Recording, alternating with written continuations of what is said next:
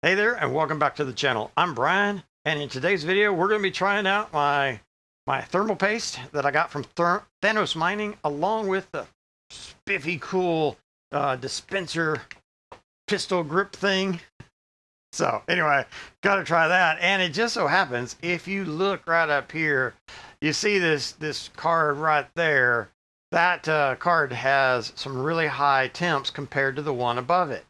So the first the card in the zero chain or the first chain, you'll see those chips are, are down there. Let's see, 58, 64, 57, 66. Where if you look at the bottom chain, you'll see 77, 75, 76, 78. Or, so those numbers are quite a bit different to be inside the same miner.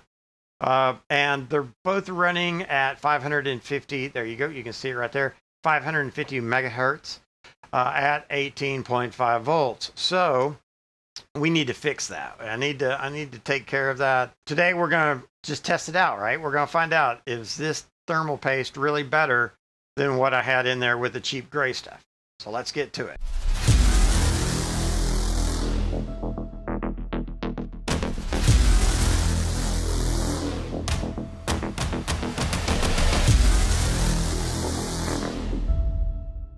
Okay, let's get the heat sink off. We'll get it in the alcohol bath, clean it up, and then I'm going to put the thermal paste on.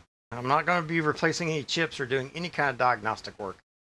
This is just about testing the thermal paste and to see how it performs versus the cheap high 510 thermal paste.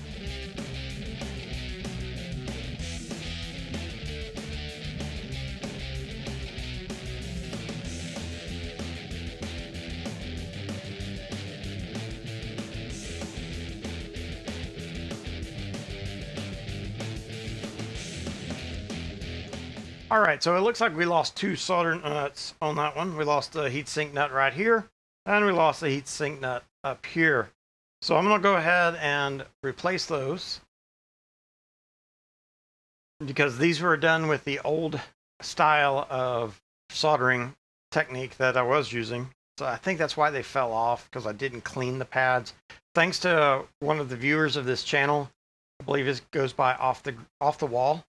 Uh, thanks so much for your suggestion of stripping the uh, tracks and then putting fresh solder on and, and, welding them back on that way. That does seem to work quite a bit better.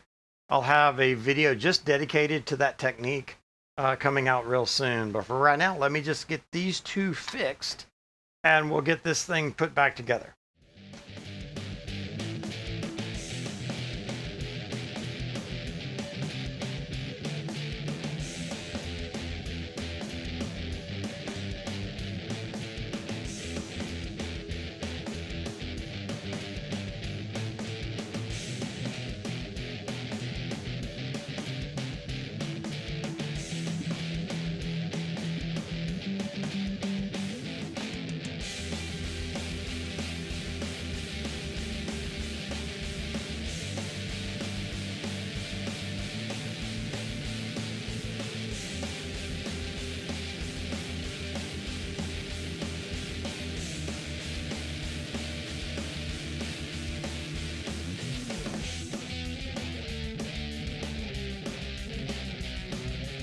Since I ended up doing a repair of the heatsink nuts, I'm to go ahead and put this on the tester just to make sure I'm still getting 65 chips and everything looks good.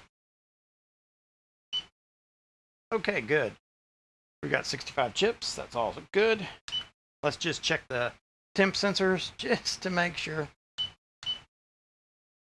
All right, there we go. We've got all four temp sensors are reporting in good chip or sense 4 is running hot right now. As far as the tester goes that's right here. So that would make sense since this part of the board was the last part that I heated up. That's okay. Also look at uh, temp sense 1 is running hot. Again that's right here. I did work right there. So we're good.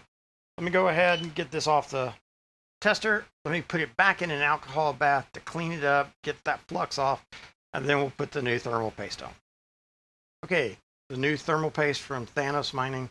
This is what I'm running on the on the other board already. So let's get this on, on here and we'll see how it does for this board.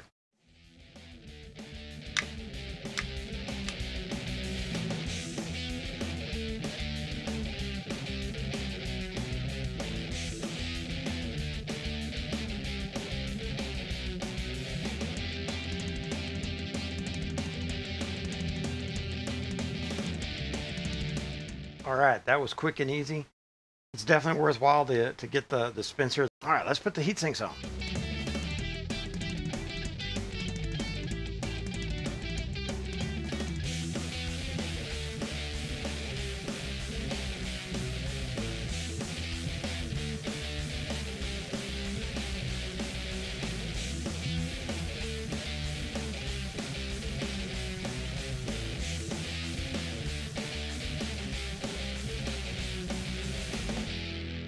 Heat sinks put on with the new thermal paste. Let's just test it one last time just to make sure.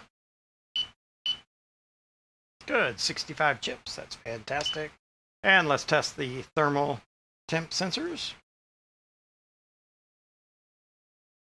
Ah, good, good, good.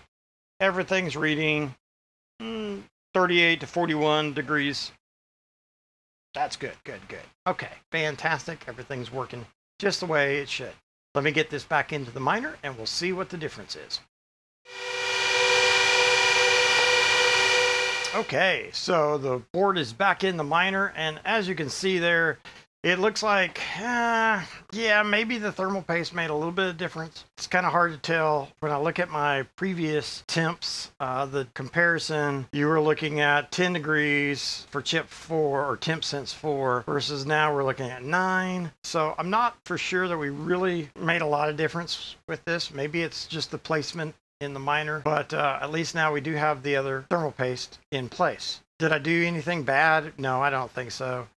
Did I do anything great? Hmm, maybe, maybe not. I don't know yet. We'll just have to let it run and see. I think we did make a little bit of improvement, uh, especially if you look around since 1 and 2. You'll see those those two first temp chips. They are definitely lower than the previous, especially that temp 1. And that probably has something to do with the fact that uh, nut between chips 1 and 10 had popped loose. Maybe that helped.